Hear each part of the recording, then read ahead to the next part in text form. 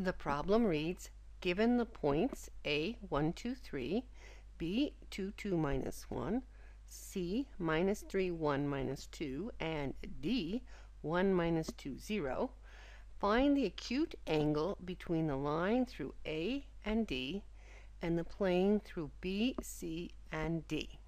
So this problem has several steps to it. Let's look at it geometrically and then algebraically. So here's our three-dimensional space.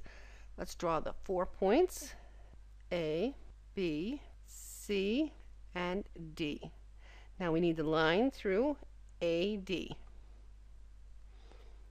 That's the line through AD, and the plane through B, C, and D. So what we're going to do, because we want these three points to lie on the plane, we're going to draw a vector from D to C and D to B. We could have picked any of the points to be the base point. We just picked D because it's easier. So here's DB and DC. So these two vectors have to lie in the plane and they define the plane. This is the plane and what, what we're looking for is the angle between this line and the plane. And how can we get that? Well, from our plane, we can get a normal vector. That's this one up here. We can get a line normal to the plane. And between two lines, we know how to use the scalar product to get the angle.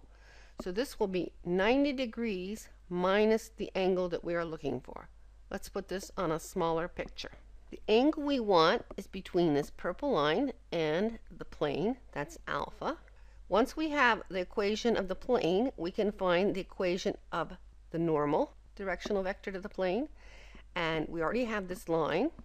So we can find this angle using scalar products, which is 90 degrees minus alpha, and then find alpha. So our plan is find the equation of the line, find the equation of the plane, find the normal directional vector to the plane, find the angle between the two lines, and subtract from 90.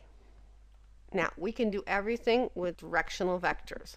So let's first find the directional vector for the line AD. The directional vector for the line AD is D minus A. So D, 1, right minus, go find A, 1, right D minus 2, right minus, go find A, 2, right D 0, right minus, go find A, 3.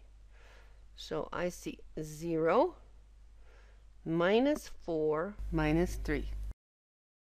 So that is a directional vector for this line. That's good enough for us. Now let's get the directional vectors for DB and DC. The directional vector for DB is B minus D. Uh, B is 2, right minus, go get D. Right, B, 2 minus, go get D, minus 2. Right, B minus 1 minus, go get D, 0. And we have 2 minus 1 is 1. 2 plus 2 is 4. And minus 1 minus 0 is minus 1. We need the directional vector for DC. So let's get that. So we have C minus D. Write down C minus 3 minus, and then go get D, 1. 1 minus D minus 2 minus 2 minus go get D, 0. So minus 3 minus 1 is minus 4. 1 plus 2 is 3 and minus 2. Now, what we want is this directional vector that's normal to these two directional vectors. So how can we find that?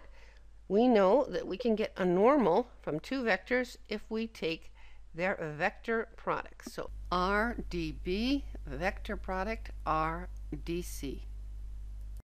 And that's the determinant. I, J, K, and then we write down the components. So 1, 4, minus 1, minus 4, 3, minus 2. And because we need to save space, we're going to do everything at once. You can check it. i is positive. i is minus 8 plus 3 minus 5. Here we have to remember our minus. We'll write it. Minus 2 minus 4 is minus 6. So we get plus 6. And then k is 3 minus minus 16. So 19. And now we need to find cosine of 90 degrees minus alpha by taking the scalar product of n and rad. So cosine of 90 degrees minus alpha, angle here, is the scalar product of n and rad divided by their intensity, their modulus, their lengths, whatever word you like. And so we get, get our calculator up, 5 plus minus times 0 plus 6 times 4 plus minus plus 19 times 3 plus minus equals minus 81 divided by the intensities. So the intensity of this would be 5 squared plus 6 squared plus 19 squared equals square root 20.54 times, and our other one is 4 squared plus 3 squared. That looks like a Pythagorean triple, and it is 5. So how much does that give us? 5 times 20.54 equals 1 over x times 81 plus minus equals minus 0.79. Minus 0.79 is cosine of 90 degrees minus alpha.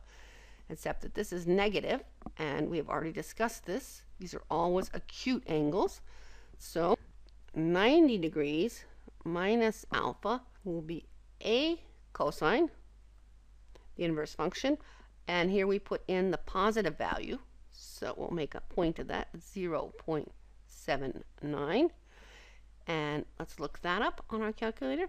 So make this plus minus, and then take the inverse cosine. So 38 degrees,